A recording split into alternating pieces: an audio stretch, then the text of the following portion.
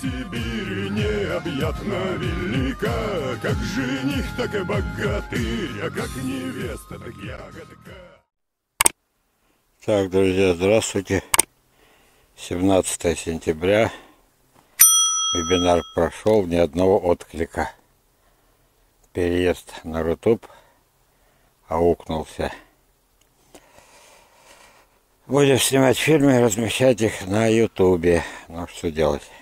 Там хоть сколько-то зрителей. Сотня, две, три. Так, заканчивая разговор, наверное, последний раз будем говорить про груши.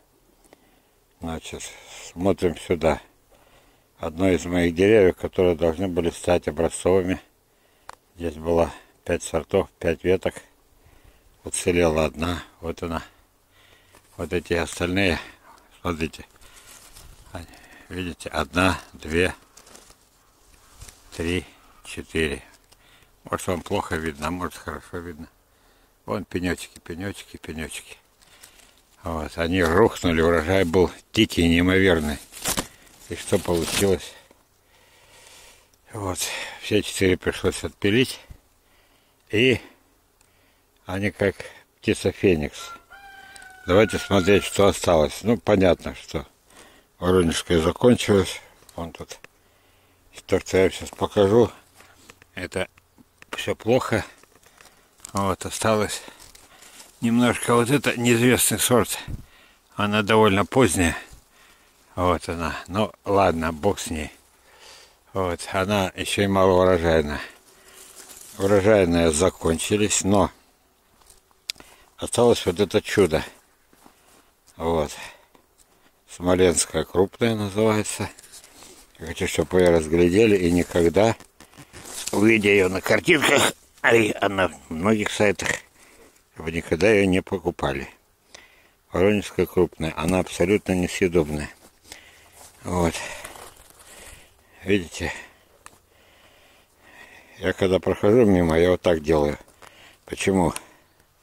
Раздавливаю. Почему? Потому что вы э, гости многочисленные.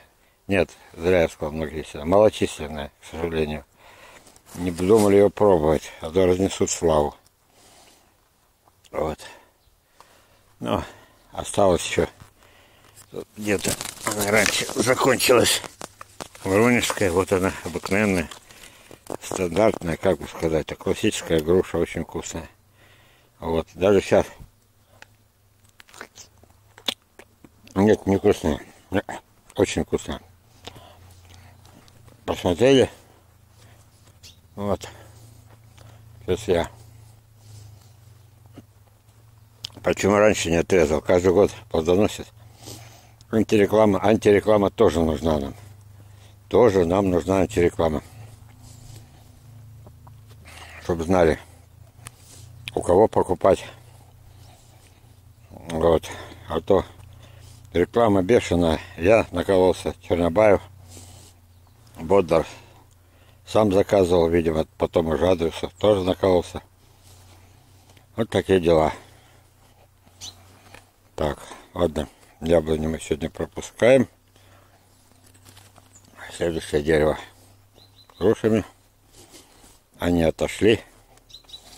Вот что здесь делают тут такие малюхонькие? Вот. Это сохранились подвойные, видите? Вот. 30 лет назад я привал довольно высоко. Подвойные груши дали ветки, вот они. И заплодоносили. Вот. Это та же уссурийка, только ее теперь не узнать. И еще знаете, что интересно? Уже говорил раз, но ничего, повторюсь. Тоже уссурийская, узнаете, форма, все. Ой, уссурийская, заговариваюсь. Тоже смоленская, крупная. Вот.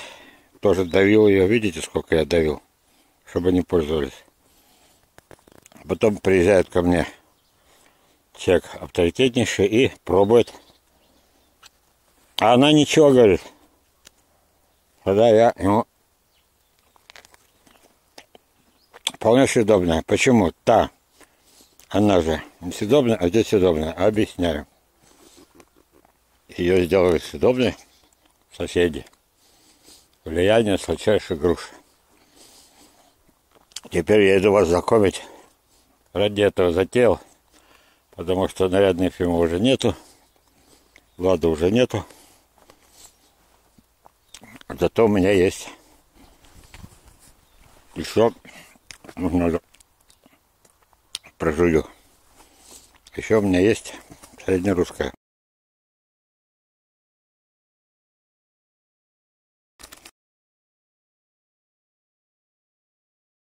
Висит на дереве. Вот, вот. Вон, видите, там еще, наверное, с ведеркой висит. Ну и помаленьку падает. Вот. Сейчас я буду собирать, потрясу дерево. Вон она, смотрите, так прилично. Еще. Это чисто осенний сорт. Очень важный сорт. Скажу несколько слов о нем. Раздобыл я одно из первых. Вот. Это даже не маточное дерево. Маточное дерево на острове сгорело в огне, когда подожгли мой сад. А успел кое-что перенести сюда. Вот, пожалуйста. Это одна из сладчайших груш, хотя она осенняя. Вот. Очень крупная.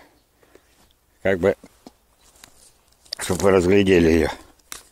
Сейчас надо как-то ее потрясти. Вот так, чтобы вот эта ветка тряслась. Соседняя. Да. Жалко не достать. А показать истинный размер. Вон я приглядел там грушу, грамм 250, вон она. Ладно, полюбовались. Что дальше о ней сказать? Когда-то она была очень распространена в Европейской России. Название среднерусское закрепилось, потому что это была просто замечательная груша. Специального названия не имела, и появилось народное название среднерусская. Ну-ка, может, подпрыгну. Опа! Опа! Но это не самое крупное. А почему я должен отрывать колечья плодушку, когда я могу поднять с земли то, что недавно упало? Вот, ну, например, вот такую. Итак, была распространена довольно, но пришли новые времена, пришли новые журналы, газеты. Вот которые были пропитаны ядом и ненавистью грушев. Вот. То есть груши оказались неправильно, и надо было их исправлять. И на исправляли, уничтожили как класс. Больше всех пострадала среднерусская, потому что она была, наоборот, сильно распространена. Теперь рассказываю как анекдот. Приезжает ко мне Турсун Полоду Скобилов и привозит аспиранта из Парнурского института а, Парнурского, имени Лисовенко. Что вы думаете? Вожу по саду, ну, пораньше, когда груш была немерено больше. Помните вот этот страшный мороз, поздний мороз, заморозок, когда уже листики появлялись. И по всей России ударил этот самый понижение. Многие регионы остались вообще без урожая, а многие без деревьев. А здесь в этом году ну, здесь было их немерено, но это у меня. А по округе их довольно мало. И на рынке мало торгуют саж... не саженцами, а плодами. Я всегда гордился Саяногорским рынком. А когда Турсун года три назад привозил, у есть целый настоящий фильм про него, где я представлял гостей. Вот. У него довольно странная фамилия, которую я так и не смог ни, ни расслышать, ни запомнить у аспиранта. И в разговоре выяснилось, фильм есть, я ничего не выдумаю. Значит, в разговоре выяснилось, что а, он занимается грушами. Когда я ему рассказал, что у меня есть нарядная Ефимова, вот, вот там она, вот, и вот она, жалко, уже плодами угостить не могу. А нарядный фильм вроде осенний, но уже закончились. Вот, среднерусская, осенний Яковлев, память Яковлева. Вот. Лесная красавица, гигант Подмосковья, Лютневая, вот, Декабрьская, Осенне-Московская. Ну, я перечислил так десяток. Вот. Аспирант смотрел на меня и хлопал глазами. Вот эти слова я запомнил на всю жизнь. У нас нет таких груш. И вот добавил фразу, которая не красит. Ни его нет, он ни в чем не виноват. Не зря ж приехал, значит, о чем-то это. Думал, когда ко мне ехал. Вот. Я никогда не слышал ни одного названия из этих десяти сортов. Вот так, друзья. И вот он и Сибирь.